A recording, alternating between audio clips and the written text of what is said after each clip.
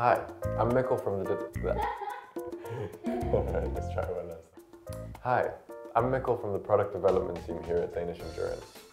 Today, I'm going to show you how to fix a hole in one of your garments. You'll need a needle, some thread, and a pair of scissors.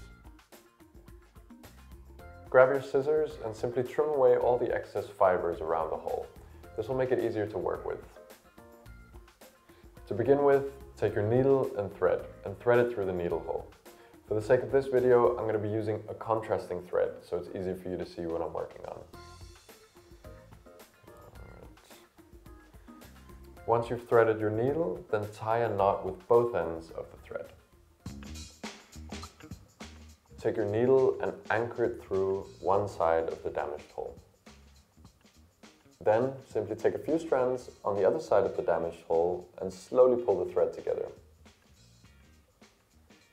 Then we're going to keep repeating this motion until the hole is closed. Simple.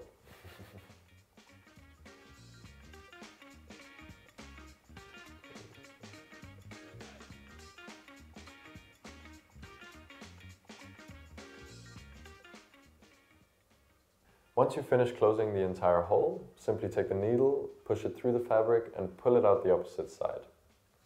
Cut the needle off the thread and simply tie a knot to close off the end. Check the outer side of your closed hole. If there's any loose threads hanging, you can simply massage it with your thumb or take an iron and steam it lightly. And there you have it. Your hole is now repaired and you can enjoy this garment for all your future adventures to come.